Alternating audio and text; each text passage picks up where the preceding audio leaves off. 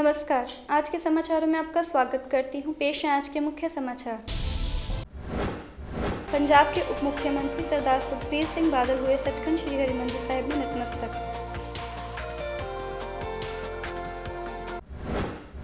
STPC की धर्म प्रचार कमेटी द्वारा करवाए गए धार्मिक मुकाबले।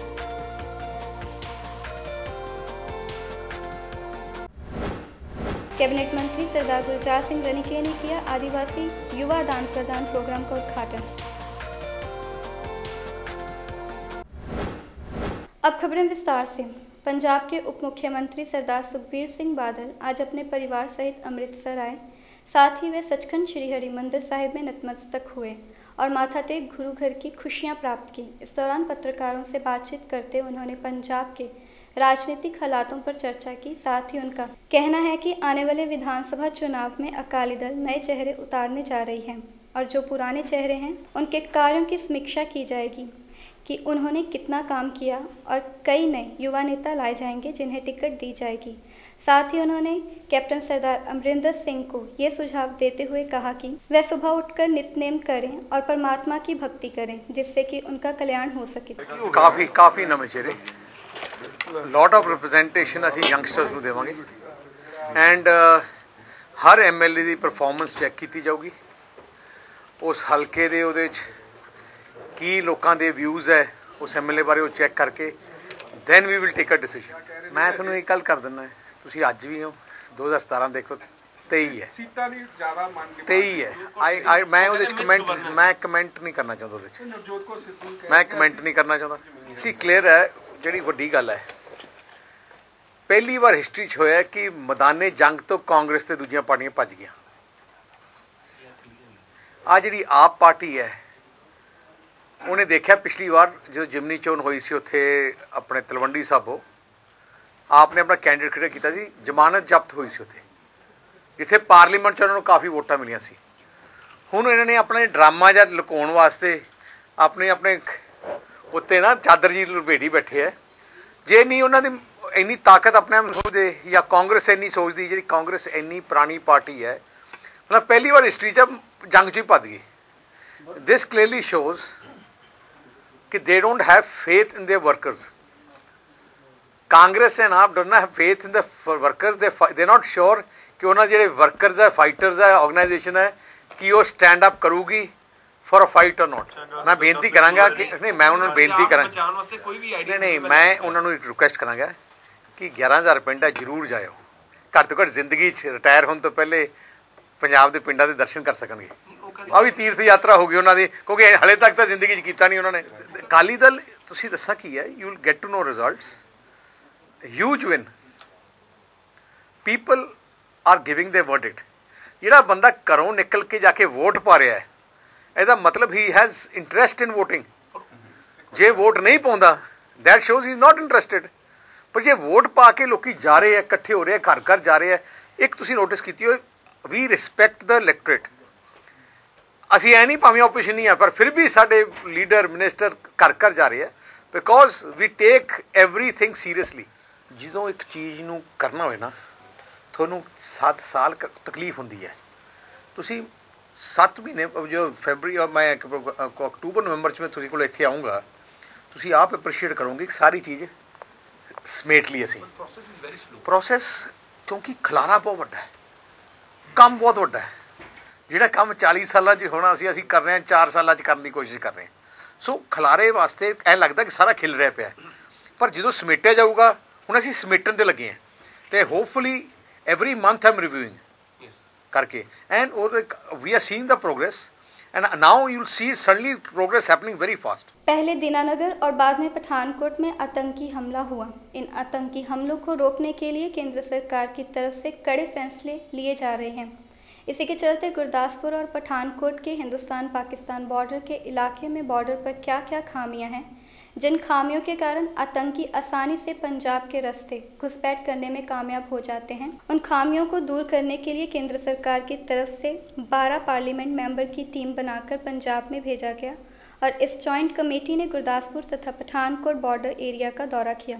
इस दौरे के दौरान जॉइंट पार्लियामेंट कमेटी के चेयरमैन प्रदीप भट्टाचार्य ने बताया कि बॉर्डर पर जहाँ जहाँ फेंसिंग नहीं है, वहाँ वहाँ फेंसिंग लगाई जाएगी ताकि आतंकी घटनाओं को रोका जा सके। तो पहले तो हम लोग तो डिसाइड किया जो हम गुरुदासपुर और पठानकोट आएँगे। तो पठानकोट पहले हमारा जर्नी स्टार्ट हुआ। कल रात में पूरा बंदोबस्त फाइनलाइज हो गया। तो पठानकोट में क्या हुआ, आप सबको मालूम है, हमारे से ज़्यादा भी आपको ही मालूम है। लेकिन तीन चीज़ अभी तक हम लोग को मालूम नहीं हो रहा है। कौन आया कैसे आया क्यों आया? कहाँ से आया? कहाँ से आया? वो तो ऑटोमेटिक होता है कहाँ से आया? कहाँ से आया तो रिप्लाई तो थोड़ा मिल गया है पाकिस्तान से आया। लेकिन क्यों आया? कैसे आया? ये चीज़ को तो रिप्लाई तो अभी तक मिला नहीं। ये रिप्लाई तो मिलना चाहिए। देखिए हम तो होम स्टैंडिंग कमेटी का आदमी हूँ। हम तो गवर्नमेंट का कोई ऑफिसर भी नहीं हो। और मंत्री भी नहीं। हम पार्लियामेंटेरियन हैं all are the member of the parliament तो हम लोग ये अनुसंधान करेंगे, हमारा डिस्कशन होगा। डिस्कशन तो हम किसी को नहीं बोल पाएँगे, लेकिन डिस्कशन का बाद जो निकाले, वो these things what we will understand from this discussion, that will incorporate in our report properly हमारा जो रिपोर्ट आएगा, तैयार होगा। वो रिपोर्ट में हम लोग पूरा चीज़ डाल देंगे। उसके बाद ही वो रिपोर्ट पार्लियामेंट में हम लोग भेज सकते हाँ ठीक ही आप बोला। फेंसिंग तो अभी फेंसिंग तो अभी तो सब जगह में हुआ नहीं। ज़रूर हम लोग ये भी बात करेंगे। वो फेंसिंग देना बहुत ज़रूरी है। फेंसिंग के साथ साथ फ्लड लाइट और जो कुछ चीज़ है ये सब कुछ का ज़रूरी है। तो इसीलिए ज़रूर हम लोग को कदम उठाएँगे। हमारा रिपोर्ट में जरूर हम लोग इसको बोलेंगे parliament standing committee for home affairs ਦੀ ਜਿਹੜੀ ਵਿਜ਼ਿਟ ਆ ਬਾਰਡਰ ਏਰੀਆ ਦੀ ਪਹਿਲਾਂ ਰਾਜਸਥਾਨ ਦੇ ਬਾਰਡਰ ਦੇਖੇ ਹੁਣ ਇੱਥੋਂ ਪੰਜਾਬ ਦਾ ਬਾਰਡਰ ਦੇਖਿਆ ਇਹ ਡੇਰਾ ਬਾਬਾ ਨਾਨਕ ਦੀ ਸਪੋਰਟ ਦਿਖਾਉਣ ਦਾ ਖਾਸ ਮਕਸਦ ਇਹ ਸੀ ਕਿ ਇੱਥੇ ਅਸੀਂ ਬੜੇ ਲੰਮੇ ਸਮੇਂ ਤੋਂ ਅਰਦਾਸ ਕਰਦੇ ਆ ਰਹੇ ਹਾਂ ਕਿ ਕੋਰੀਡੋਰ ਬਣਾਇਆ ਜਾਵੇ ਗੁਰਦੁਆਰਾ ਕਰਤਾਰਪੁਰ ਸਾਹਿਬ ਦੇ ਲਾਂਘੇ ਲਈ ਔਰ ਮੈਂ ਸਮਝਦਾ ਇਹਦੀ ਭਾਵੇਂ ਅਨਆਫੀਸ਼ੀਅਲੀ ਗੱਲ ਚੱਲਦੀ ਸੀ ਪਰ ਅੱਜ ਇਹ ਉੱਚ ਪੱਧਰੀ ਹੋਮ ਕਮੇਟੀ ਦੀ ਆ- ਮੀਟ ਆਉਣ ਨਾਲ ਵਿਜ਼ਿਟ ਨਾਲ ਇਹਨੂੰ ਬੜਾ ਵੱਡਾ ਹੁਲਾਰਾ ਮਿਲੇਗਾ ਔਰ ਅਸੀਂ ਇਹਦੀ ਰਿਪੋਰਟ ਦਵਾਂਗੇ। ਔਰ ਮੈਂ ਸਮਝਦਾ ਭਾਰਤ ਸਰਕਾਰ ਬੜੀ ਦੇਰ ਦੀ ਜਿਹੜੀ ਸਿੱਖਾਂ ਦੀ ਇੱਛਾ ਕਿ ਗੁਰਦੁਆਰਾ ਸਾਹਿਬਾਨ ਦੇ ਖੁੱਲੇ ਦਰਸ਼ਨ ਦਿਦਾਰ ਹੋਣ ਕਰਤਾਰਪੁਰ ਸਾਹਿਬ ਦੇ ਲਈ ਇਹ ਲਾਂਘਾ ਜ਼ਰੂਰ ਪ੍ਰਵਾਨ ਕਰ ਲੇਗੀ ਸਾਡੀ ਰਿਪੋਰਟ ਤੋਂ ਬਾਅਦ। ਸਰ ਲੀਡ ਕੌਣ ਕਰ ਰਿਹਾ ਸੀ ਤੁਹਾਡੀ ਮਿਸਟਰ ਭੱਟਾਚਾਰੀਆ ਜੀ ਨੇ ਚੇਅਰਮੈਨ ਜੋ ਰਾਜ ਸਭਾ ਦੇ ਨੇ। ਪਰਮਾਨੈਂਟ ਵਾਲ ਤੇ ਜਾਂ ਫੈਂਸਿੰਗ ਰਿਪੇਅਰ ਦੀ ਗੱਲ ਜਿਹੜੀ ਹੈ ਚੱਲ ਰਹੀ ਹੈ ਇਹਦੀ ਵੀ ਰਿਪੋਰਟ ਹੋਏਗੀ। ਔਰ ਏਅਰ ਬੇਸ ਆ ਜਿਹੜਾ ਪਠਾਨਕੋਟ, ਉਹ ਵੀ ਵਿਜ਼ਿਟ ਕਰਾਂਗੇ। ਤੇ ਖਾਸ ਤੌਰ ਤੇ ਬਾਰਡਰ ਏਰੀਆ ਦੇ ਵਿੱਚ ਕਿਸਾਨਾਂ ਨੂੰ ਸਮੱਸਿਆਵਾਂ ਜਿਹੜੀਆਂ ਆਉਂਦੀਆਂ ਕੱਲ ਤੋਂ 10 ਤੇ 11 ਮੀਟਿੰਗ ਵੀ ਰੱਖੀ ਆ। ਤੇ ਉਹ ਮੁਸ਼ਕਲਾਂ ਕਿਵੇਂ ਹੱਲ ਹੋ ਸਕਦੀਆਂ ਨੇ, ਕੀ ਸਮੱਸਿਆਵਾਂ ਨੇ, ਉਹ ਵੀ ਸਾਰੀ ਜਾਣਕਾਰੀ। ਸ਼੍ਰੋਮਣੀ ਗੁਰਦੁਆਰਾ ਪ੍ਰਬੰਧਕ ਕमेटी की धर्म प्रचार कमेटी की तरफ से धार्मिक मुकाबले करवाए गए जिसमें अलग अलग स्कूल्स के बच्चों ने हिस्सा लिया आए हुए बच्चों द्वारा बाणी का स्वरण किया गया और ਸਿੱਖ इतिहास सिख रहत मर्यादा सुनी गई इस मौके पर सचखंड श्री हरि मंदिर साहिब के हेड ग्रंथी ज्ञानी जगतार सिंह जी ने मुख्य मेहमान के रूप में शिरकत की।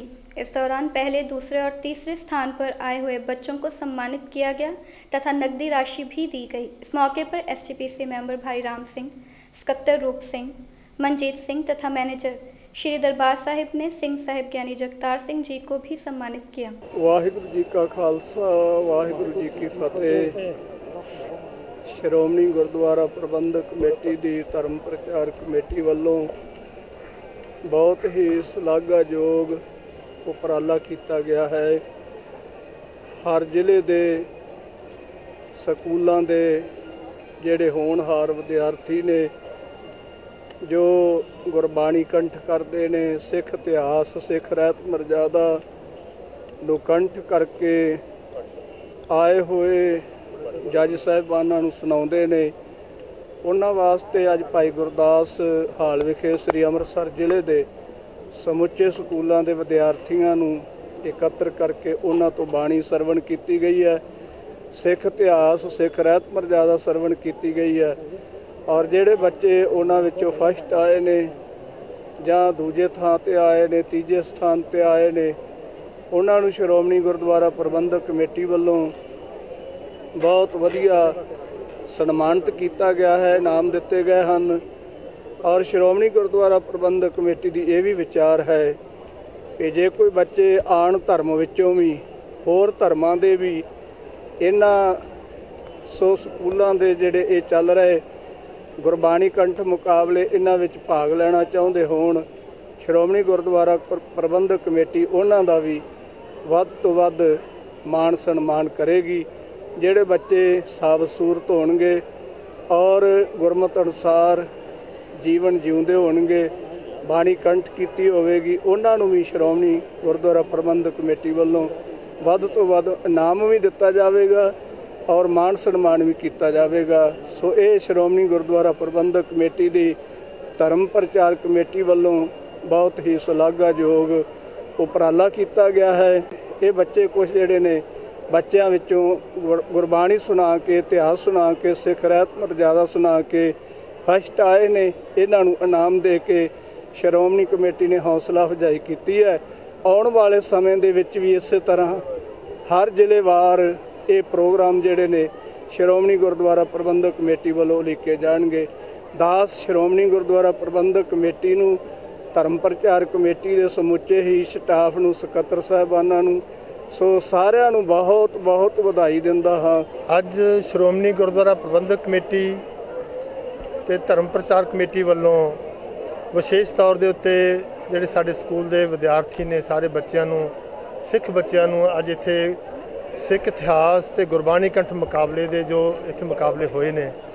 ਇਹ ਮੈਂ ਸਮਝਦਾ ਹਾਂ ਸ਼੍ਰੋਮਣੀ ਗੁਰਦੁਆਰਾ ਪ੍ਰਬੰਧਕ ਕਮੇਟੀ ਦੇ ਸਤਿਕਾਰਯੋਗ ਸਰਦਾਰ ਪ੍ਰਧਾਨ ਸਾਹਿਬ ਜੀ ਤੇ ਸਿੰਘ ਸਾਹਿਬ ਵੱਲੋਂ ਵੱਲੋਂ ਜਿਹੜੇ ਉਚੇਚੇ ਤੌਰ ਤੇ ਉਪਰਾਲੇ ਕੀਤੇ ਗਏ ਆ, ਬਹੁਤ ਹੀ ਸ਼ਲਾਘਾਯੋਗ ਨੇ ਔਰ ਜਿਹੜੀ ਕੌਮ ਆਪਣੇ ਬੱਚਿਆਂ ਨੂੰ ਆਉਣ ਵਾਲੀ ਪਨੀਰੀ ਨੂੰ ਸਾਂਭਦੀ ਹੈ, ਮੈਂ ਸਮਝਦਾ ਹੈ ਇਹ ਬਹੁਤ ਹੀ ਸ਼੍ਰੋਮਣੀ ਗੁਰਦੁਆਰਾ ਪ੍ਰਬੰਧਕ ਕਮੇਟੀ ਦਾ ਵਿਸ਼ੇਸ਼ ਤੌਰ ਤੇ ਕੀਤਾ ਗਿਆ ਜਿਹੜਾ ਉਪਰਾਲਾ ਹੈ, ਬਹੁਤ ਹੀ ਸ਼ਲਾਘਾਯੋਗ ਹੈ। ਮੈਂ ਵਿਸ਼ੇਸ਼ ਤੌਰ ਤੇ ਪ੍ਰਧਾਨ ਸਾਹਿਬ ਜੀ ਦਾ, ਸਕੱਤਰ ਸਾਹਿਬਾਨ ਜੀ ਦਾ, ਧਰਮ ਪ੍ਰਚਾਰ ਕਮੇਟੀ ਦੇ ਸਕੱਤਰ ਸਾਹਿਬਾਨ ਦਾ, ਸਮੁੱਚੀ ਟੀਮ ਦਾ ਸਰਦਾਰ ਮਨਜੀਤ ਸਿੰਘ ਜੀ, ਸਰਦਾਰ ਰੂਪ ਸਿੰਘ ਜੀ, ਉਹਨਾਂ ਦੇ ਸਮੁੱਚੇ ਸਾਰੇ ਸਟਾਫ ਦਾ, ਜਿਹੜੇ ਵੀ ਨਾਲ ਸੋਰਸ ਬਾਕੀ ਸਾਰੇ ਸਕੱਤਰ ਸਾਹਿਬਾਨ ਨੇ, ਮੈਂ ਉਹਨਾਂ ਦਾ ਬਹੁਤ ਬਹੁਤ ਧੰਨਵਾਦ ਕਰਦਾ ਔਰ ਇਹ ਆਸ ਕਰਦਾ ਕਿ ਜਿਹੜੇ ਇਹ ਉਪਰਾਲੇ ਰੰਭੇ ਗਏ ਆ ਇਹ ਇਸੇ ਤਰ੍ਹਾਂ ਜਾਰੀ ਰਹਿਣ ਔਰ ਸਾਡੇ ਜਿਹੜੇ ਬੱਚੇ ਆ ਉਹਨਾਂ ਨੂੰ ਸ਼੍ਰੋਮਣੀ ਗੁਰਦੁਆਰਾ ਪ੍ਰਬੰਧਕ ਕਮੇਟੀ ਵੱਲੋਂ ਮੁਕਾਬਲਿਆਂ ਦੇ ਵਿੱਚ ਵਜ਼ੀਫੇ ਵੀ ਦਿੱਤੇ ਜਾਂਦੇ ਆ ਇਨਾਮ ਵੀ ਦਿੱਤੇ ਜਾਂਦੇ ਆ ਔਰ ਇਹ ਬੱਚੇ ਧਰਮ ਦੇ ਨਾਲ ਜੁੜ ਕੇ ਇਹਨਾਂ ਦੇ ਨਾਲ ਅੱਗੇ ਹੋਰ ਵੀ ਆਪਣੇ ਜੀਵਨ ਦੇ ਵਿੱਚ ਪਰਪੱਕ ਹੋਣਗੇ ਇਹ ਮੈਂ ਆਸ ਕਰਦਾ ਹੋਇਆ ਸਭ ਦਾ ਬਹੁਤ ਬਹੁਤ ਧੰਨਵਾਦ ਕਰਦਾ ਹਾਂ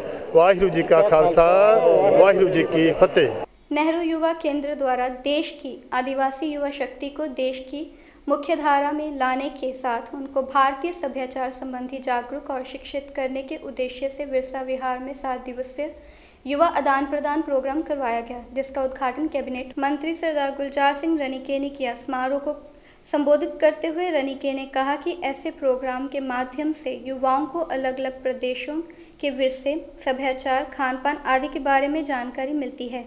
कैंप के आयोजक जिला यूथ कोऑर्डिनेटर सैमसंग मसीह ने कहा कि 12 फरवरी तक चलने वाले इस कैंप में छत्तीसगढ़, उड़ीसा तथा झारखंड के 15 जिलों से 250 युवा भाग ले रहे हैं। इस अवसर पर एसडीएम राजेश शर्मा सहित अन्य लोग मौजूद थे। मेरा नाम खुशबू तिर्की है। मैं चतरा, झारखंड से आई हूँ। यहाँ कर मुझे बहुत खुशी हो रही है। यहाँ का माहौल, यहाँ का रहन सहन, एकता, एक दूसरे के साथ मिलजुल कर रहना बहुत ही अच्छा लग रहा है। ये हमारा आदिवासी झारखंड झारखंड आदिवासियों का ये ये ड्रेस है और ऐसे ही हमारे और सारे ड्रेस हैं जो इसी तरह के हैं। ये हम किसी खास मौके पर पहनते हैं या फिर हम कोई नृत्य या कोई त्यौहार ऐसे में ये ड्रेसेस को पहनते हैं। जैसे यहाँ पंजाब में अ, जो भांगड़ा के लिए जो ड्रेस यूज़ किए जाते हैं उसी तरह हम भी अपने नृत्य के लिए इन ड्रेसों को उपयोग करते हैं। और जैसे यहाँ भांगड़ा प्रसिद्ध है उसी तरह हम हमारा भी वहाँ जो आदिवासी लोक नृत्य प्रसिद्ध है इच्छा होती है कि हमारा भी कल्चर हमारा भी जो प्रोग्राम है हमारी भी जो त्यौहार है उसको पूरा विश्व जाने पूरा विश्व हमसे भी परिचित हो जाए ਅੱਜ ਅਥਵਾ ਆਦਿਵਾਸੀ ਜਿਹੜਾ ਯੂਥ ਕਾਨਫਰੰਸ ਜਿਹੜਾ ਬੱਚੇ ਵੱਖ-ਵੱਖ ਸਟੇਟਾਂ ਤੋਂ ਛੱਤੀਸਗੜ੍ਹ ਤੋਂ ਉੜੀਸਾ ਤੋਂ ਝਾਰਖੰਡ ਤੋਂ ਜਿਹੜੇ ਆਏ ਨੇ ਮੈਂ ਉਹਨਾਂ ਸਾਰਿਆਂ ਬੱਚਿਆਂ ਨੂੰ ਉਹਨਾਂ ਦੇ ਨਾਲ ਆਏ ਉਹਨਾਂ ਦੇ ਕੋਸ਼ਿਸ਼ ਸਾਹਿਬਾਨਾਂ ਨੂੰ ਟੀਚਰ ਸਾਹਿਬਾਨਾਂ ਨੂੰ ਪੰਜਾਬ ਦੀ ਇਸ ਪਵਿੱਤਰ ਧਰਤੀ, ਖਾਸ ਕਰਕੇ ਅੰਮ੍ਰਿਤਸਰ ਦੀ ਦੇ ਜੀਆਂ ਕਿ ਨਾ ਸਕਿੱਲ ਡਿਵੈਲਪਮੈਂਟ ਦੇ ਅੰਦਰ ਇਹਨਾਂ ਨੇ ਟ੍ਰੇਨਿੰਗ ਵੀ ਇੱਥੇ ਲੈਣੀ ਹੈ। ਉਹਦੇ ਨਾਲ ਜਿਹੜੇ ਬੱਚੇ ਬੇਰੁਜ਼ਗਾਰ ਵੀ ਨੇ ਜਿਹੜੇ ਇਹੋ ਜੂਸ ਦੇ ਵਿੱਚ, ਉਹ ਸਾਰਾ ਵੇਖ ਕੇ ਤੇ ਟ੍ਰੇਨਿੰਗ ਲੈ ਕੇ ਉਹ ਆਪਣੇ ਜੀਵਨ ਦਾ ਫੈਸਲਾ ਆਪ ਕਰਨਗੇ ਦੇਸ਼ ਦੀ ਤਰੱਕੀ ਵਾਸਤੇ, ਦੇਸ਼ ਦੀ ਖੁਸ਼ਹਾਲੀ ਵਾਸਤੇ ਡੇਲੀ ਡਿਵੈਲਪਮੈਂਟ ਵਾਸਤੇ, ਸ਼ਾਂਤੀ ਵਾਸਤੇ ਆਪਣਾ ਜੀਵਨ ਦਾ ਵੱਡਮੁੱਲਾ ਹਿੱਸਾ ਜਿਹੜਾ ਉਹ ਪਾਉਣਗੇ, ਇਸ ਲਈ ਸਾਡਾ ਜਿਹੜਾ ਸਾਡਾ ਮਿਸ਼ਨ ਹੈ, ਸਾਡਾ ਪਹਿਲਾ ਹੀ ਪੰਜਾਬੀਆਂ ਦਾ ਮਿਸ਼ਨ ਹੈ ਕਿ ਨਾਨਕ ਨਾਮ ਚੜ੍ਹਦੀ ਕਲਾ ਤੇਰੇ ਭਾਣੇ, ਸਰਬੱਤ ਦੇ ਭਲੇ ਦੀ ਜਿਹੜੀ ਗੱਲ ਹੈ ਤਾਂ ਹੀ ਜੀ, ਅਸੀਂ ਇੱਕ ਦੂਜੇ ਨੂੰ ਸਮਝਾਂਗੇ। ਅੱਜ ਦਾ ਮੇਰਾ ਪ੍ਰੋਗਰਾਮ ਇਹ ਸੀ ਪਰਿਵਾਰ ਸਮੇਤ ਇਹਨਾਂ 'ਚ ਬਹਿ ਕੇ ਇਹਨਾਂ ਨਾਲ ਗੱਲਾਂ ਬਾਤਾਂ ਵੀ ਕਰੀਏ। ਆਦਿਵਾਸੀ ਬੱਚੇ ਨੇ ਜਿਆਦੇ। ਔਰ ਜ਼ਿਆਦਾ ਇਹਨਾਂ ਦਾ ਜਿਹੜਾ ਪਿਛੋਕੜ ਉਹ ਜੰਗਾਂ ਦਾ ਹੈ। ਤੇ ਇਹਨਾਂ ਨੇ ਬਹੁਤ ਖੁਸ਼ੀ ਮਹਿਸੂਸ ਕੀਤੀ। ਮੈਂ ਪੁੱਛਿਆ ਵੀ, ਇਹਨਾਂ ਨੂੰ ਆਇਆ, ਪੁੱਛਿਆ ਵੀ ਕੀ ਕੁਝ ਕੁਝ ਕਰ ਰਹੇ, ਕਹਿੰਦੇ ਬਹੁਤ ਵਧੀਆ। ਇਸ ਕਰਕੇ ਮੈਂ ਅਰਦਾਸ ਕਰਦਾ ਕਿ ਬੱਚੇ ਤਰੱਕੀ ਕਰਨ। ਮੈਂ ਇੱਥੇ ਬੱਚਿਆਂ ਦਾ ਪ੍ਰੋਗਰਾਮ ਦੇਖਿਆ, ਆਪਣੀ ਫੈਮਿਲੀ ਦੇ ਨਾਲ।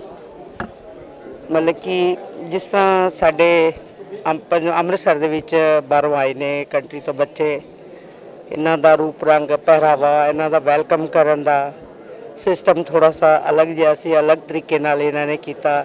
ਸਾਡੇ ਪੰਜਾਬ ਦੇ ਵਿੱਚ ਅਲੱਗ ਤਰ੍ਹਾਂ ਦਾ ਕਰਦੇ ਨੇ, ਉਹਨਾਂ ਨੇ ਆਪਣਾ ਕਲਚਰ ਪੇਸ਼ ਕੀਤਾ। ਲੇਕਿਨ ਇਹ ਅੱਛਾ ਲੱਗਾ ਵੀ ਉਹਨਾਂ ਨੇ ਸਾਨੂੰ ਸਾਡੇ ਪੰਜਾਬ ਦਾ ਵੀ ਭੰਗੜਾ ਪਾ ਕੇ ਦਿਖਾਇਆ ਸਾਰੀ ਜਿੰਨੇ ਵੀ ਬੱਚੇ ਆ ਉਹਨਾਂ ਦਾ ਇੰਜੋਏ ਕਰ ਰਹੇ ਨੇ ਉਹਨਾਂ ਨੂੰ ਖੁਸ਼ ਕਰ ਰਹੇ ਨੇ ਵੀ ਉਹਨਾਂ ਦਾ ਪੰਜਾਬ ਦੇ ਵਿੱਚ ਜਿਹੜਾ ਕਿ ਜੀ ਲੱਗਿਆ ਆਣ ਕੇ आज हल्का श्री खरदूर साहिब के गांव अलादीनपुर बारीपुर जियोवाला मानो चाहल आदि गांवों में श्रोमणी अकाली दल के उम्मीदवार सरदार रविंद्र सिंह ब्रह्मपुरा के हक में चुनाव प्रचार के दौरान भारी रैलियों को संबोधित करते हुए उप मुख्यमंत्री सरदार सुखबीर सिंह बादल ने कहा कि कैप्टन सरदार अमरिंदर सिंह ने अपने कार्यकाल के दौरान सूबे को आगे लाने की बजाय पीछे की ओर धकेल दिया था और उन्होंने बादल सरकार की तरफ़ से शुरू किए गए लोक भलाई के विकासमुखी योजनाओं को भी बंद कर दिया था। इस दौरान उन्होंने लोगों से अपील की कि वह श्रोमणी अकाली दल के उम्मीदवार सरदार रविंद्र सिंह ब्रह्मपुरा को एक लाख की लीड से जिताकर पंजाब के साथ साथ पूरे देशवासियों को ये संदेश दें कि पंजाब के लोग विकास अमन शांति और भाईचारा रखना पसंद करते हैं इस मौके पर लोकसभा मेंबर सरदार रंजीत सिंह ब्रह्मपुरा तथा कैबिनेट मंत्री सरदार सिकंदर सिंह मलूका ने भी लोगों को संबोधित किया ਜਿਹੜੀਆਂ ਦੋ ਪਾਰਟੀਆਂ ਆਪਣੇ ਆਪ ਨੂੰ ਦਾਵਾ ਕਰਦੀਆਂ ਮੈਦਾਨੇ ਜੰਗ ਚ ਆਉਣ ਦੀਆਂ ਦੋਨੇ ਹੀ ਭੱਜ ਗਈਆਂ ਪਹਿਲੀ ਗੱਲ ਜਿਹੜੀ ਫੌਜ ਦਾ ਜਰਨੈਲ ਭੱਜੇ ਉਹ ਫੌਜ ਨਹੀਂ ਕਿਤੇ ਲੜਾਈ ਲੜ ਸਕਦੀ। ਕਾਂਗਰਸ ਦੇ ਜਰਨੈਲ ਕੈਪਟਨ ਨੇ ਤਾਂ ਪਹਿਲੇ ਹੱਥ ਖੜੇ ਕਰ ਦਿੱਤੇ। ਉਹ ਇਲੈਕਸ਼ਨ ਸੀ। ਪਾਰਲੀਮੈਂਟ ਇਲੈਕਸ਼ਨ ਦੇ ਬਾਅਦ 'ਚ, ਜਦੋਂ ਉਹਨਾਂ ਦੀ ਹਵਾਈ ਬਣੀ ਸੀ ਉਹਨਾਂ ਨੇ ਪੰਗਾ ਲੈ ਲਿਆ ਬਾਈ ਇਲੈਕਸ਼ਨ 'ਚ ਤੇ ਜ਼ਮਾਨਤ ਜ਼ਬਤ ਹੋ ਗਈ ਉਹਨਾਂ ਦੀ। ਹੁਣ ਉਹ ਲਫਾਫਾ ਜਾਂ ਉਹ ਚਾਹੁੰਦੇ ਕਿ ਫਟੇ ਨਾ ਇਲੈਕਸ਼ਨ ਤੱਕ ਸਾਡਾ ਕਿਵੇਂ ਨਾ ਕਿਵੇਂ ਦਾਲ ਤੁਹਾਡਾ ਚੱਲਦਾ ਰਹੇ। ਮੈਂ ਕਿਹਾ ਐਜੀਆਂ ਸੜਕਾਂ ਬਣਾ ਦੂੰ ਭਾਵੇਂ ਬੰਬ ਸਿੱਟ ਦਿਓ ਟੁੱਟਦੀਆਂ ਨਹੀਂ। ਤੇ ਉਦੋਂ ਤੁਸੀਂ ਉਦੋਂ ਕਈ ਅਖਬਾਰ ਆਮ ਆਦਮੀ ਟੋਪੀਆਂ ਕਹਿਣ ਲੱਗੇ ਮਖੌਲ ਕਰਨ ਲੱਗੇ ਜੀ, ਬੰਬ ਸਿੱਟ ਕੇ ਐਵੇਂ ਸੁਖਵੀਰ ਮਖੌਲ ਕਰਦਾ ਆ ਜਾ ਕੇ ਦੇਖੋ ਤੁਹਾਡੇ ਤਰਨ ਤਰਨ ਕੋਲ ਸੜਕ ਪਾਉਂਦੀ ਨੂੰ ਇੱਧਰ ਬਠਿੰਡੇ ਜਾ ਕੇ ਦੇਖੋ ਐਡੀ ਸੀ ਬੰਦਾ ਨਾਲ ਸਰੀਆ ਆਟੋਮੈਟਿਕ ਹੈ। ਮੈਂ ਤੁਹਾਨੂੰ ਇਹ ਗੱਲ ਮੈਂ ਅੱਜ ਤੱਕ ਜੋ ਕਿਹਾ ਪੂਰਾ ਕੀਤਾ ਹੈ। ਉਹ ਬੱਸ ਵੀ ਪਾਣੀ ਵਾਲੀ ਆਉਣ ਵਾਲੀ ਹੈ 3 ਮਹੀਨੇ ਰਹਿ ਗਏ। ਤਿੰਨ ਮਹੀਨੇ ਜਿੱਤਨੇ ਤਿੰਨ ਮਹੀਨੇ ਨਹੀਂ 2 ਮਹੀਨੇ ਚ ਆ ਜੂਗੀ ਪਹਿਲੇ ਸਭ ਤੋਂ ਵੱਧ ਕਾਂਗਰਸੀ ਨੂੰ ਬਿਠਾ ਕੇ ਉਹਨੂੰ ਅੰਦਰ ਡੋਬ ਕੇ ਆਉਂਗਾ ਕਿਤੇ। ਜਿਹੜਾ ਐਸ ਕਰਕੇ ਆ ਮੇਰਾ ਵੀਰ ਹੈ, ਪਹਿਲੀ ਵਾਰ ਜ਼ਿੰਦਗੀ 'ਚ ਐਮਐਲਏ ਬਣ ਲੱਗਿਆ ਜਾਂ ਚੰਗਾ, ਜਿਵੇਂ ਸ਼ਗਨ ਦੇ ਹੁੰਦਾ ਨਾ ਚੰਗੀਆਂ ਵੋਟਾਂ ਨਾਲ ਚੰਗੀਆਂ ਮਤਲਬ ਲੱਖ ਟਪਾ ਦਿਓ आज अमृतसर के posh area Ranjit avenue B block कोठी नंबर एक में एक बीएसएफ के जवान द्वारा लूट करने का समाचार प्राप्त हुआ है उक्त आरोपी ने पहले घर की महिला पर तेज धार हथियार से उस पर वार कर उसे घायल कर दिया उसके बाद घर के अंदर जाकर वृद्ध महिला को बंधक बनाकर उनसे साढ़े आठ लाख रुपए की लूट को अंजाम दिया जिसके तहत उक्त ने वृद्ध महिला को भी घायल कर दिया उसके बाद उसने मांग की कि वह उसे एक गाड़ी मुहैया करवा कर दें इस बीच महिला ने शोर मचाया और मोहल्ला वासियों द्वारा पुलिस को सूचित किया गया मौके पर पहुंची पुलिस ने उक्त को गिरफ्तार कर लिया Jeet avenue B block 162 63 number ਕੋਠੀ ਹੈ ਅਰਵਿੰਦਰ ਸਿੰਘ ਬੱਬੂ ਜੀ ਜਿਨ੍ਹਾਂ ਦਾ ਇਹ ਘਰ ਹੈ ਰੈਡੀਮੇਡ ਦਾ ਉਹਨਾਂ ਦਾ ਹੋਲਸੇਲ ਦਾ ਕੰਮ ਹੈ ਤੇ ਅੱਜ ਇੱਥੇ ਮੈਂ ਤੇ ਐਪਰੀਸ਼ੀਏਟ ਹੀ ਕਰੂੰਗਾ ਅੱਜ ਤੇ ਕਿ ਉਸ ਪੁਲਿਸ ਨੂੰ ਜਿਹਨੂੰ ਆਮ ਤੌਰ ਤੇ ਹਰ ਹਮੇਸ਼ਾ ਹੀ ਕਟਹਿਰੇ 'ਚ ਹੀ ਖੜਾ ਕੀਤਾ ਜਾਂਦਾ ਹੈ ਤੇ ਐਡੀ ਬਹਾਦਰੀ ਦੀ ਮਿਸਾਲ ਹੈ ਇਹਨਾਂ ਦੀ ਕਿ ਅੱਜ ਐਡੀ ਵੱਡੀ ਵਾਰਦਾਤ ਜਿਹੜੀ ਆ ਇਹਨਾਂ ਨੇ ਮੌਕੇ ਦੇ ਉੱਤੇ ਜਿਹੜੇ ਆ ਉਹ ਡਕੈਤ ਡਕੈਤ ਨੂੰ ਕਾਬੂ ਕੀਤਾ ਤੇ ਉਹਨੂੰ ਪੁਲਿਸ ਹੁਣੇ ਹੀ ਥਾਣੇ ਲੈ ਕੇ ਗਈ ਆ ਉਹਨੇ ਆ ਕੇ ਪਹਿਲਾਂ ਤੇ ਕੁਝ ਕਾਗਜ਼ਾਂ ਦੇ ਬਹਾਨੇ ਕਿ ਤੁਹਾਡੇ ਡਾਕੂਮੈਂਟ ਆਏ ਆ, ਇੱਥੇ ਲੇਡੀ ਨੂੰ ਟਰੈਪ ਕੀਤਾ, ਉਹਦੇ ਵਾਰ ਕੀਤਾ, ਬਹੁਤ ਵੱਡੇ ਚਾਕੂ ਨਾਲ ਡਰੈਗਨ ਨਾਲ। ਤੇ ਉਸ ਤੋਂ ਬਾਅਦ ਅੰਦਰ ਬਜ਼ੁਰਗ ਔਰਤ ਸੀ। ਉਹਨਾਂ ਦੇ ਗਲ ਦੇ ਉੱਤੇ ਰੱਖਤਾ ਤੇ ਨਾਲ ਕਿਹਾ ਵੀ ਸਾਰੇ ਪੈਸੇ ਤਕਰੀਬਨ 8 ਅੱਠ ਲੱਖ ਰੁਪਈਆ ਉਹਨਾਂ ਨੇ ਜਿੱਥੇ ਜਿੱਥੇ ਵੀ ਪੈਸੇ ਸੀ ਇਕੱਠੇ ਕਰ ਲਏ। ਤੇ ਉਸ ਤੋਂ ਬਾਅਦ ਜਿਸ ਲੇਡੀ ਦੇ ਸੱਟ ਲੱਗੀ ਸੀ, ਉਹਨਾਂ ਨੂੰ ਕਹਿ ਦਿੱਤਾ ਵੀ ਤੁਸੀਂ ਹੁਣ ਮੇਰੇ ਵਾਸਤੇ ਗੱਡੀ ਤਿਆਰ ਕਰੋ। ਤੇ ਮੈਨੂੰ ਇੱਥੋਂ ਕੱਢੋ ਤੇ ਕਿਸੇ ਪੁਲਿਸ ਨੂੰ ਅਗਰ ਕਿਤੇ ਕਿਹਾ ਤੇ ਮੈਂ ਮਾਤਾ ਨੂੰ ਜਿਹੜਾ ਵਾ ਉਹ ਜਾਨੋਂ ਮਾਰ ਦੇਣਾ ਤੇ ਉਹ ਚਾਕੂ ਉਹਦੇ ਗਲੇ ਤੇ ਰੱਖਤਾ। ਪਰ ਉਸ ਬਹਾਦਰ ਸਾਡੀ ਭੈਣ ਨੇ ਪੁਲਿਸ ਲਾਗੇ ਮਹੱਲੇ 'ਚ ਇਨਫਾਰਮ ਰੌਲਾ ਪਾਤਾ ਤੇ ਇਕੱਠੇ ਹੋ ਗਏ ਲੋਕ। ਲੋਕਾਂ ਨੇ ਵੀ ਬੜੀ ਬਹਾਦਰੀ ਦੇ ਨਾਲ ਤੇ ਨਾਲ ਹੀ ਪੁਲਿਸ ਆ ਗਈ, ਜਿਨ੍ਹਾਂ ਨੇ ਬੜੇ ਤਰੀਕੇ ਦੇ ਨਾਲ ਬਜ਼ੁਰਗ ਮਾਤਾ ਦੀ ਜਾਨ ਬਚਾ ਕੇ ਤੇ ਉਹਨੂੰ ਕਾਬੂ ਕੀਤਾ, ਨਹੀਂ ਤੇ ਮਾੜੀ ਜੀ ਵੀ ਕੁਤਾਈ ਹੁੰਦੀ ਤੇ ਜਿਸ ਤਰ੍ਹਾਂ ਉਹ ਐਡਾ ਵੱਡਾ ਚਾਕੂ ਗਲੇ ਤੇ ਰੱਖਿਆ ਸੀ, ਮਾਤਾ ਦੀ ਜਾਨ ਜਾ ਸਕਦੀ ਸੀ। ਪਰ ਬੜੇ ਤਰੀਕੇ ਦੇ ਨਾਲ ਇਹਨਾਂ ਨੇ ਉਹਨੂੰ ਕਾਬੂ ਵੀ ਕੀਤਾ ਤੇ ਜਾਨ ਵੀ ਬਚਾਈ ਆ ਤੇ ਸਾਰੀ ਜਿਹੜੀ ਮਨੀ ਆ ਉਹ ਵੀ ਰਿਕਵਰ ਕੀਤੀ ਆ।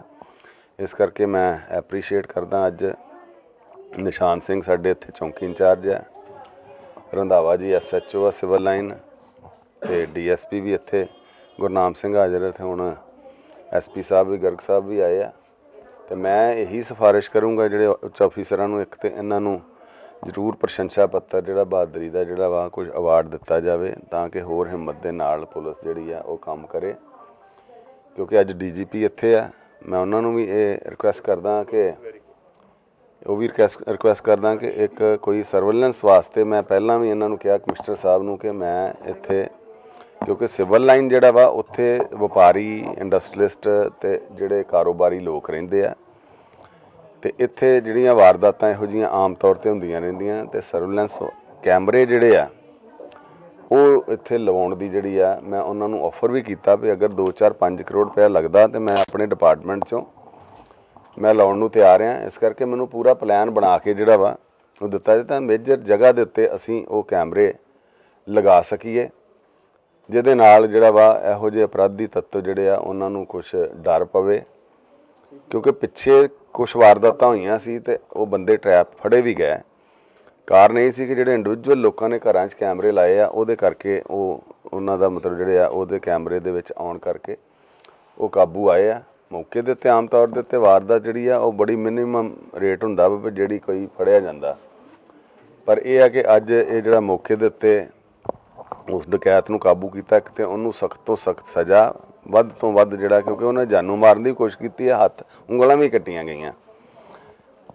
ਤੇ ਮਾਤਾ ਨੂੰ ਵੀ ਜਿਹੜਾ ਵਾ ਉਹਨੇ ਪੂਰਾ ਆਪਣੇ ਕਾਬੂ 'ਚ ਰੱਖਿਆ ਸੀ ਤੇ ਉਹਨਾਂ ਦੀ ਜਾਨ ਜਿਹੜੀ ਆ, ਕਿਸੇ ਵੇਲੇ ਵੀ ਜਿਹੜੀ ਆ ਜੋਖਮ ਸੀ ਜੇ ਕੋਈ ਕਤਾਈ ਹੋ ਜਾਂਦੀ ਪੁਲਿਸ ਕੋ ਉਹ ਵੀ ਜਾ ਸਕਦੀ ਸੀ। ਪਰ ਮੈਂ ਜਿੱਥੇ ਇਹਨਾਂ ਨੂੰ ਐਪਰੀਸ਼ੀਏਟ ਕਰਦਾ ਪੁਲਿਸ ਨੂੰ, ਉੱਥੇ ਨਾਲ ਇਹ ਵੀ ਕਹਿਣਾ ਕਮਿਸ਼ਨਰ ਸਾਹਿਬ ਨੂੰ ਵੀ ਇਹ ਕਹਿਣਾ ਕਿ ਉਹਦੇ ਤੇ ਸਖਤ ਤੋਂ ਸਖਤ ਧਾਰਾ ਜਿਹੜੀਆਂ ਲਾ ਕੇ ਤੇ ਉਹਨੂੰ ਸਖਤ ਤੋਂ ਸਖਤ ਸਜ਼ਾ ਦਵਾਈ ਜਾਵੇ ਤੇ ਸੈਕੰਡ ਇਹ ਆ ਕਿ ਸਰਵੇਲੈਂਸ ਵਾਸਤੇ ਕੈਮਰਿਆਂ ਦਾ ਜਿਹੜਾ ਵਾ ਅਸੀਂ ਉਹ ਜ਼ਰੂਰ ਪ੍ਰੋਜੈਕਟ ਬਣਾ ਕੇ ਤੇ ਉਹ ਲਵਾਈਏ ਤਾਂ ਕਿ ਇਹਨਾਂ ਵਾਰਦਾਤਾਂ ਤੋਂ ਜਿਹੜਾ ਵਾ ਉਹ ਬਚਿਆ ਜਾ ਸਕੇ।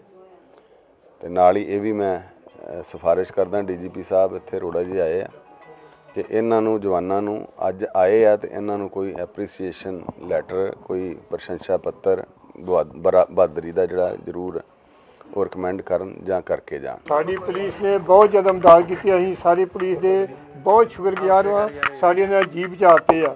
ਇਹਨਾਂ ਨੇ ਆਣ ਕੇ ਬੜੇ ਟਾਈਮ ਸਿਰ ਉਹਨੇ ਚਾਕੂ ਰੱਖਿਆ ਸੀ ਮੇਰੀ ਮਿਸੇ ਦੇ ਗਲੇ ਤੇ, ਇਹਨਾਂ ਆਣ ਕੇ ਬੜੇ ਢੰਗ ਨਾਲ, ਬੜੇ ਤਰੀਕੇ ਨਾਲ ਉਹਨੂੰ ਹੀ ਕਿ ਇਹਨੂੰ ਬਚਾਉਣ ਦੀ ਕੋਸ਼ਿਸ਼ ਕੀਤੀ ਆ।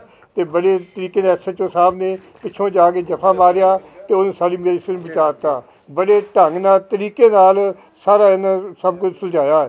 ਤੇ ਅਸੀਂ ਪੁਲਿਸ ਦੀ ਇੰਨੇ ਕੁ ਸ਼ੁਕਰਗੁਜ਼ਾਰ ਹਾਂ ਸਾਡੇ ਕੋਈ ਲਫ਼ਜ਼ ਨਹੀਂ ਕਿ ਅਸੀਂ ਇਹਨਾਂ ਦੀ ਪ੍ਰਸ਼ੰਸਾ ਬਿਆਨ ਕਰ ਸਕੀਏ। ਇੱਥੇ ਜੀ ਆਪਣੇ ਸਰਦਾਰ ਸਾਹਿਬ ਦੇ ਅਹ, ਤੇ ਇੱਥੇ ਘਰ ਦੇ ਵਿੱਚ ਇੱਕ ਹਾਦਸਾ ਵਾਪਰਿਆ ਉਹ ਜਿਵੇਂ ਕਿ ਇਹਨਾਂ ਦਾ ਕੋਈ ਪੁਰਾਣਾ EMPLOYE ਸੀ ਕੋਈ 2001 ਦੇ ਵਿੱਚ ਇਹਨਾਂ ਕੋਲੇ ਸਰਵਿਸ ਕਰਦਾ ਸੀ। ਉਹ ਇੱਥੋਂ ਕਰਕੇ ਚਲਾ ਗਿਆ ਸੀ। ਉਸ ਤੋਂ ਬਾਅਦ ਦੇ ਵਿੱਚ ਉਹ ਉਹਨੂੰ ਇੱਥੇ ਪਤਾ ਸੀ ਕਿ ਇਹ family well to do financially sound family ਹੈ। ਉਹਨੇ ਆ ਕੇ ਇੱਥੇ ਇਹਨਾਂ ਦੇ ਜਦੋਂ ਲੇਡੀਜ਼ ਕੱਲੀਆਂ ਸੀ ਉਹਨਾਂ ਦੇ ਇੱਕ ਲੇਡੀ ਨੂੰ ਹੱਥ ਤੇ ਇੰਜਰ ਕਰਕੇ ਕਾਫੀ ਸੀਰੀਅਸਲੀ ਤੇ ਦੂਜਿਆਂ ਦੇ ਗਲ ਤੇ ਚਾਕੂ ਰੱਖ ਕੇ ਤੇ ਉਹਨਾਂ ਤੋਂ ਪੈਸੇ ਜਿੰਨੇ ਘਰ ਸੀ ਉਹ ਵੀ ਕਢਵਾ ਲਏ ਸੀ। ਇਹਨੇ ਇਹ ਜਦੋਂ ਕਿਹਾ ਕਿ ਬਾਹਰ ਜਾ ਕੇ ਮੇਰੀ ਗੱਡੀ ਦਾ ਅਰੇਂਜ ਕਰੋ, ਜਦੋਂ ਬਾਹਰ ਉਹਨੇ ਜਾ ਕੇ ਗੱਡੀ ਵਾਸਤੇ ਕਿਹਾ, ਤਾਂ ਉੱਥੇ ਸ਼ਾਨੇ ਬੰਦੇ ਨੇ ਇਮੀਡੀਏਟਲੀ ਪੁਲਿਸ ਨੂੰ ਇਨਫੋਰਮ ਕਰਤਾ।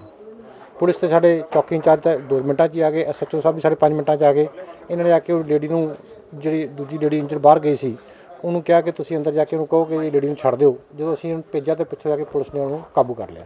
ਉਹ ਕਾਬੂ ਆ ਕੇ ਸਾਡੇ ਪੁਲਿਸ ਦੀ ਕਸਟਡੀ 'ਚ ਹੈ ਔਰ ਉਹਦੀ ਕਸਟਡੀ ਤੋਂ ਤਰਾਸ਼ੀ ਲਈ ਇੱਕ ਬੀਐਸਐਫ ਦਾ ਰੈਂਟਰੀ ਕਾਰਡ ਨਿਕਲਿਆ। ਅਸੀਂ ਵੈਰੀਫਾਈ ਕਰ ਰਹੇ ਹਾਂ ਕੰਸਰਨਡ ਯੂਨਿਟ ਤੋਂ ਕਿ ਉਹ ਬੀਐਸਐਫ ਦਾ EMPLOYEE ਹੈ ਕਿ ਉਹਨੂੰ ਜਾਲੀ ਕਾਰਡ ਬਣਾਇਆ ਹੈ। ਬੀਐਸਐਫ ਦੇ ਵਿੱਚ ਜੰਮੂ ਵਿੱਚ ਤਾਂ ਕਹਿੰਦਾ ਕਹਿੰਦਾ ਮੈਂ ਕਰਦਾ ਜੋ ਕਾਰਡ ਹੈਗਾ, ਪਰ ਅਸੀਂ ਉਹ ਕੰਸਰਨਡ ਯੂਨਿਟ ਤੋਂ ਹੁਣ ਵੈਰੀਫਾਈ ਕਰਾਂਗੇ ਕਿ ਉਹ ਗੱਲ ਸੱਚੀ ਹੈ ਕਿ ਕਾਰਡ ਝੂਠਾ ਹੈ ਕਿ ਫੇਕ ਹੈ। ਉਹਨਾਂ ਬਿਲਕੁਲ ਐਪਰੀਸ਼ੀਏਟ ਕਰਾਂਗੇ। ਅੱਜ ਮ- ਕੁਦਰਤੀ ਡੀਜੀਪੀ ਸਾਹਿਬ ਵੀ ਪਹੁੰਚ ਰਹੇ ਹੈ। ਉਹਨਾਂ ਤੋਂ ਵੀ ਇਹਨਾਂ ਤੋਂ ਸ਼ਾਬਾਸ਼ ਦਵਾ ਕੇ ਇਹਨਾਂ ਨੂੰ ਪ੍ਰੋਪਰ ਨਾਮ ਦਵਾਇਆ ਜਾਏਗਾ। ਸਾਡੇ ਨਾਲ ਵੀ ਡੀ- ਆਪਣੇ ਮੰਤਰੀ ਜੀ ਨਾਲ ਵੀ ਪਹਿਲਾਂ ਵੀ ਦੋ ਵਾਰੀ ਡਿਸਕਸ਼ਨ ਹੋਈ ਹੈ। ਬੜੇ ਕੀਨ ਹੈਗੇ ਮੰਤਰੀ ਜੀ ਕਿ ਆਪਾਂ ਇੱਥੇ ਸੀਸੀਟੀਵੀ ਕੈਮਰੇ ਲਾ ਕੇ ਤਾਂ ਕਿ ਜਿਹੜਾ ਇੱਥੇ ਪੈਟੀ ਕ੍ਰਾਈਮ ਜਾਂ ਦੂਜਾ ਕ੍ਰਾਈਮ ਹੈ, ਉਹਨੂੰ ਚੈੱਕ ਕੀਤਾ ਜਾਵੇ। ਇਹਨਾਂ ਨੇ ਸ- ਅਹ ਕਾਫੀ ਫੰਡ ਵੀ ਕੋਈ 4-5 ਕਰੋੜ ਰੁਪਏ ਅਰੇਂਜ ਕਰ ਰੱਖਿਆ ਹੈ ਉਹ ਅਸੀਂ ਬੈਠ ਕੇ ਕੱਲ ਹੀ ਬੈਠ ਕੇ ਇਹਦਾ ਫਾਈਨਲ ਨੂੰ ਸ਼ੇਪ ਦੇ ਕੇ ਜਲਦੀ ਜਲਦੀ ਜਲਦੀ ਲਾਗੂ ਕਰਾਂਗੇ ਫਿਲਹਾਲ ਪੈਦਲ ਪੈਦਲ ਹੈ ਜੇ ਵਹੀਕਲਾਂ ਦਾ ਫਿਰ ਉਹ ਵਹੀਕਲ ਅਰੇਂਜ ਨਹੀਂ ਕਰਦਾ ਸੀਗਾ ਫਿਰ ਆਦ ਵਹੀਕਲ ਤੇ ਦੌੜ ਜਾਂਦਾ ਉਹ। कर्ज में डूबे अमृतसर के मेहता गांव निवासी किसान मंगल सिंह के खुदकुशी करने का समाचार प्राप्त हुआ है इस मामले में जानकारी देते मंगल सिंह के बेटे ने बताया कि उनके पिता और वह दोनों आलू की फसल और अन्य सब्जियों की खेती करते हैं लेकिन दो वर्षों से आलू की फसल का उचित मोल ना मिलने के कारण उनकी आर्थिक स्थिति काफ़ी उथल पुथल हो गई थी, जिस कारण उन्हें बैंक से कर्जा लेना पड़ा। लेकिन फ़सल का उचित मोल ना मिलने के कारण कर्जे की किश्त ना दे पाए और कर्जा बढ़ता गया। कभी बैंक से चिट्ठी आ जाती तो कभी फ़ोन।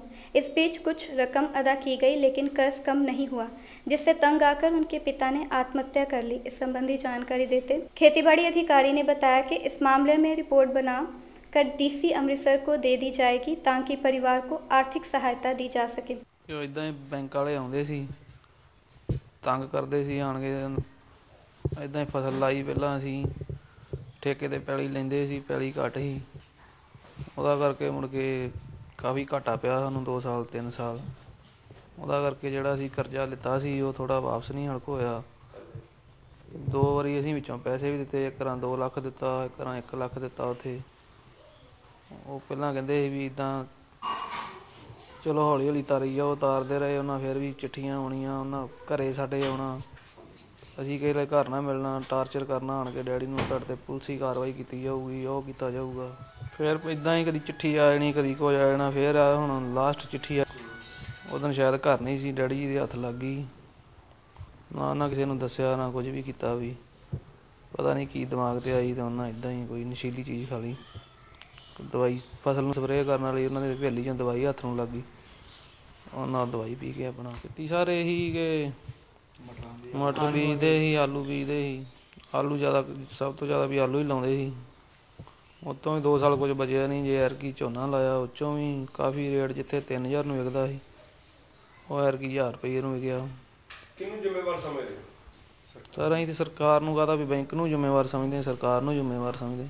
ਮੇਰਾ ਨਾਮ ਤੇਜਿੰਦਰ ਸਿੰਘ ਜੀ, ਖੇਤੀਬਾੜੀ ਵਿਕਾਸ ਅਫਸਰ ਜੋ। ਵੀ ਇਹ ਵਾਪ, ਮੈਂ ਵੀ ਮਾਨਯੋਗ ਡਿਪਟੀ ਕਮਿਸ਼ਨਰ ਅੰਮ੍ਰਿਤਸਰ, ਮੁੱਖ ਖੇਤੀਬਾੜੀ ਅਫਸਰ, ਜਿਹਦੇ ਹੁਕਮਾਂ ਦੇ ਤਹਿਤ ਹੀ ਆਇਆ ਵਾਂ, ਵੀ ਸਾਰਾ ਕੁਝ ਪਤਾ ਕਰਨ ਵੀ ਜੋ ਵੀ ਮੰਦਭਾਗੀ ਘਟਨਾ ਵਾਪਰੀ ਹੈ, ਕਿੰਨਾ ਕਾਰਨ, ਜੋ ਵੀ ਇਹਨਾਂ ਨੇ ਕਹਿ ਰਹੇ ਆ ਵੀ ਜੋ ਅਖਬਾਰ ਤੋਂ ਪੜਿਆ ਵਾ ਵੀ ਇਹਨਾਂ ਨੇ ਸੁਸਾਈਡ ਕੀਤਾ, ਉਸ ਸਬੰਧ ਚ ਅਸੀਂ ਜੋ ਇਹਨਾਂ ਕੋਲ ਦਰਖਾਸਤ ਐਪਲੀਕੇਸ਼ਨ ਜੋ ਵੀ ਕਾਨੂੰਨੀ ਕਾਰਵਾਈ ਬੰਦੀ ਹੈ, ਜੋ ਵੀ ਵੱਧ ਤੋਂ ਵੱਧ ਕਰ ਸਕਦੇ ਹੋ, ਇਹਦੇ ਲਈ ਆਏ ਇਹਨਾਂ ਕੋਲ ਆਪਾਂ। ਅਸੀਂ ਅਸੀਂ ਤੇ ਇਹਨਾਂ ਕੋਲ ਰਿਪੋਰਟ ਲੈਣ ਆਏ ਆ, ਇਹਨਾਂ ਕੋਲ ਲਿਖਤੀ ਤੌਰ ਤੇ ਲਵਾਂਗੇ ਵੀ ਜੋ ਵੀ ਮੰਦਭਾਗੀ ਘਟਨਾ ਵਾਪਰੀ, ਕਿਸ ਕਾਰਨ ਵਾ- ਵਾਪਰੀ ਹੈ ਕੋਈ ਕਰਜ਼ਾ ਵਾ, ਉਹਦੀ ਕਾਪੀ ਲੈ ਕੇ ਹੀ ਸੰਬੰਧਤ ਡਿਪਟੀ ਕਮਿਸ਼ਨਰ ਜੀ ਨੂੰ ਭੇਜ ਦਾਂਗੇ।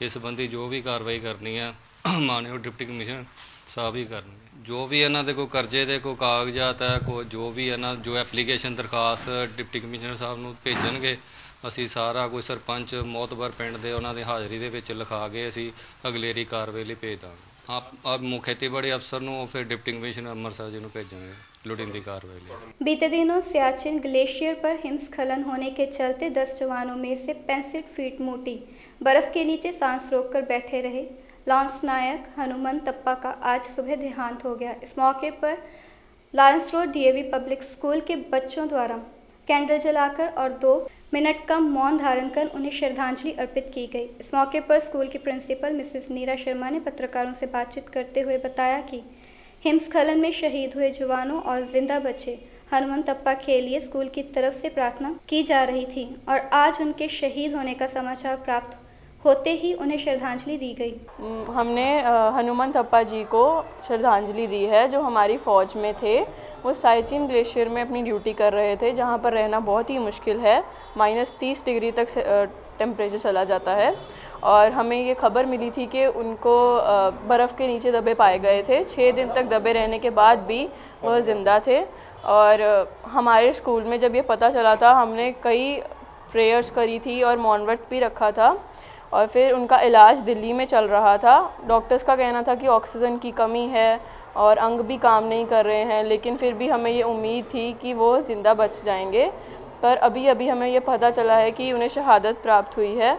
वह शहीदी को प्राप्त हुए हैं, पर हम उन पर गर्व करते हैं कि उन्होंने हमारी रक्षा की। उन्हीं की वजह से हम ऐसे अपने देश में खुलेआम सुरक्षित घूम सकते हैं। आज आपने क्या किया?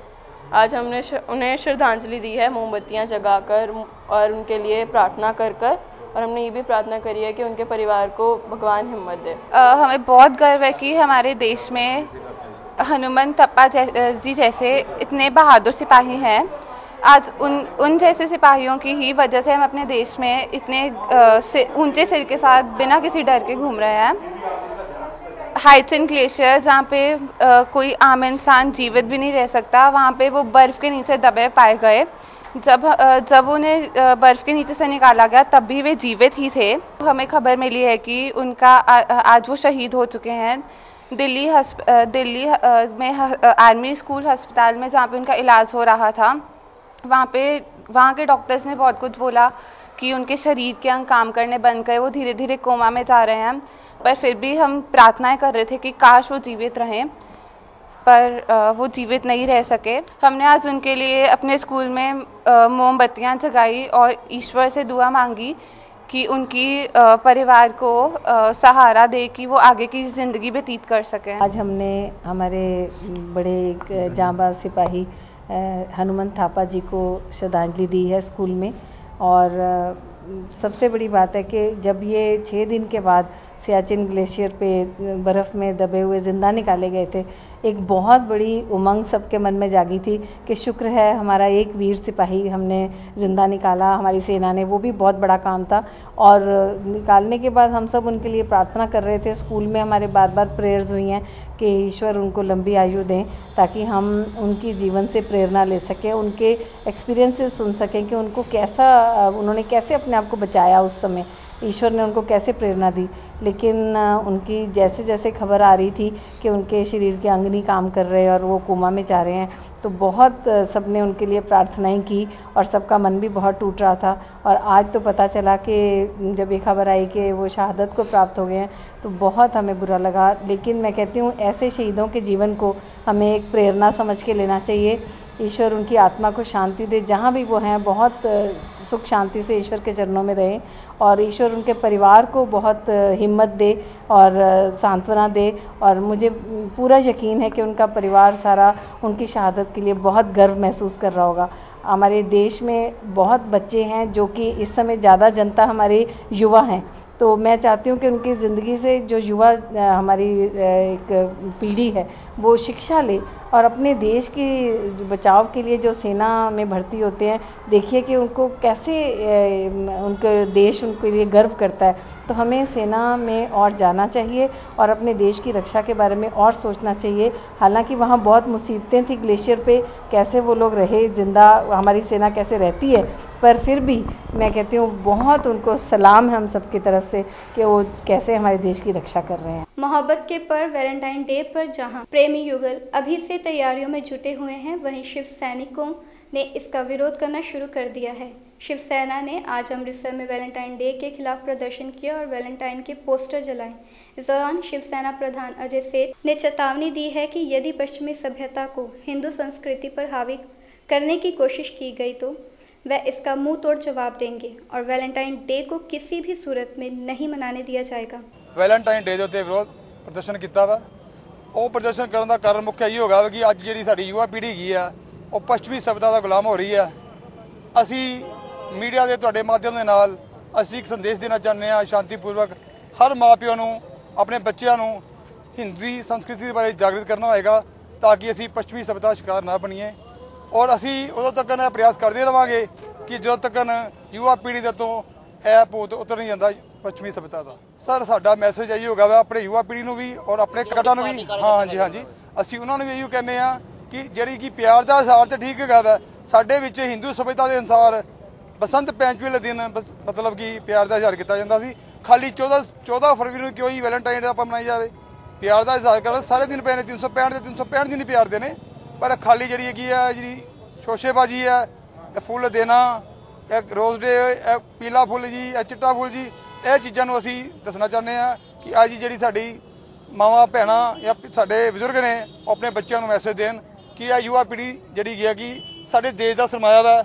ਔਰ ਇਹ ਗਲਤ ਰਸਤੇ ਨਾ ਜਾ ਕੇ ਹਿੰਦੂ ਸੰਸਕ੍ਰਿਤੀ ਨੂੰ ਪਛਾਣਨ ਔਰ ਦੇਸ਼ ਦੇ ਵਿੱਚ ਆਪਣਾ ਯੋਗਦਾਨ ਦੇਣ ਜੈ ਹਿੰਦ ਜੈ ਭਾਰਤ धन धन बाबा दीप सिंह जी और बाबा जीवन सिंह जी के जन्म उत्सव पर इलाका तुंगपई में सुखमनी साहिब के पाठ नौजवान सेवक सभा की तरफ से बड़ी श्रद्धा भावना के साथ करवाए गए इस दौरान जानकारी देते प्रधान श्री देवेंद्र सिंह जौनी ने बताया कि सुखमनी साहिब का पाठ सरबत के भले के लिए करवाया जा रहा है इस दौरान भारी संख्या में संगतों ने शिरकत की। इस अवसर पर कामरेड तरसेम सिंह पोला सबका प्रधान औहदेदार राम सिंह, कुलदीप सिंह, सरबजीत सिंह, राजू बबलू, दविंदर सिंह, कश्मीर सिंह मौजी, इकबाल सिंह आदि उपस्थित थे। जी अज नौजवान सेवक सभा मोकमपुरे तो हर साल इस तरह खंड पाठ करवा है कि हर दी खुशी वास्ते ਸੁੱਖ, ਸ਼ਾਂਤੀ ਵਾਸਤੇ ਕਿ ਬੱਚਿਆਂ ਨੂੰ, ਬਜ਼ੁਰਗਾਂ ਨੂੰ, ਭੈਣਾਂ ਨੂੰ, ਮਾਤਾਵਾਂ ਨੂੰ ਜਿਹੜੇ ਕਿ ਮੋਕਮਪੁਰੇ ਤੋਂ ਸਾਰਿਆਂ ਨੂੰ ਆਸ਼ੀਰਵਾਦ ਮਿਲੇ ਸਤਿਗੁਰੂ ਦਾ ਕਿ ਜਿਹੜਾ ਸਾਰਿਆਂ ਦੀ ਚੰਗੀ ਜ਼ਿੰਦਗੀ ਲੰਘੇ, ਚੰਗਾ ਪਰਿਵਾਰ ਸੁੱਖ ਦੀ ਜ਼ਿੰਦਗੀ ਜੀਵੇ, ਇਹ ਨੌਜਵਾਨ ਜਿਹੜੇ ਆ, ਇਹ ਖੰਡ ਪਾਠ ਰਖਾਉਂਦੇ ਆ, ਇਹ ਹਰ ਸਾਲ ਦੀ ਸਾ- ਹਰ ਸਾਲ ਕਰਾਉਂਦੇ ਆ ਔਰ ਕਰਾਉਂਦੇ ਰਹਿਣ ਔਰ ਅਸੀਂ ਇਹਨਾਂ ਨੌਜਵਾਨਾਂ ਦਾ ਵੀ ਧੰਨਵਾਦ ਕਰਦੇ ਆ ਕਿ ਇਦਾਂ ਨੂੰ ਚੰਗੀ ਸਿਹਤ ਦੇਣ ਚੰਗਾ ਅਹ, ਜੀਵਨ ਦੇਣ ਚੰਗੀ ਕੋਈ ਗ- ਗੱਲਬਾਤ ਦੇਣ ਉਸ ਵੱਲੋਂ ਜਿਹੜਾ ਉਪਰਾਲਾ ਕੀਤਾ ਜਾਂਦਾ ਹੈ ਬਾਬੇ ਸ਼ਹੀਦਾਂ ਸਾਹਿਬ ਜੀ ਦਾ ਤੇ ਨਾਲੇ ਬਾਬਾ ਜੀਵਨ ਸਿੰਘ ਜੀ ਦਾ ਨੌਜਵਾਨ ਸੇ- ਸੇਵਕ ਸਭਾ ਦੇ ਮੈਂਬਰਾਂ ਨੇ ਹਰ ਸਾਲ ਇਸ ਤਰ੍ਹਾਂ ਦੇ ਲੰਗਰ ਲਾਉਂਦੇ ਨੇ ਤੇ ਸੁਖਮਨੀ ਸਾਹਿਬ ਦਾ ਪਾਠ ਕਰਾਉਂਦੇ ਨੇ ਤੇ ਸਾਰੇ ਸਮਾਜ ਵਿੱਚ ਚਸ਼ਾਈ ਦਾ ਸੰਦੇਸ਼ ਦਿੰਦੇ ਨੇ ਬਸ ਇੰਨਾ ਕਹਿੰਦੇ ਹੋਇਆ ਅਸੀਂ ਇਹਨਾਂ ਨਾਲ ਮੋਢੇ ਨਾਲ ਮੋਢਾ ਜੋੜ ਕੇ ਖੜੇ ਆ एक बार फिर नजर डालते हैं आज के मुख्य समाचारों पर पंजाब के उप मुख्यमंत्री सरदार सुखबीर सिंह बादल हुए सचखंड श्री हरिमंदिर साहिब में नतमस्तक।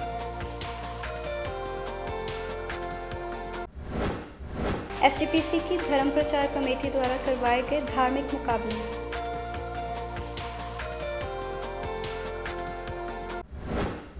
कैबिनेट मंत्री सरदार गुलजार सिंह रनिके ने किया आदिवासी युवा दान प्रदान प्रोग्राम का उद्घाटन। इसी के साथ आज के समाचार समाप्त होते हैं कल मिलेंगे कुछ ताज़ा तरीन खबरों के साथ तब तक के लिए दीजिए इजाज़त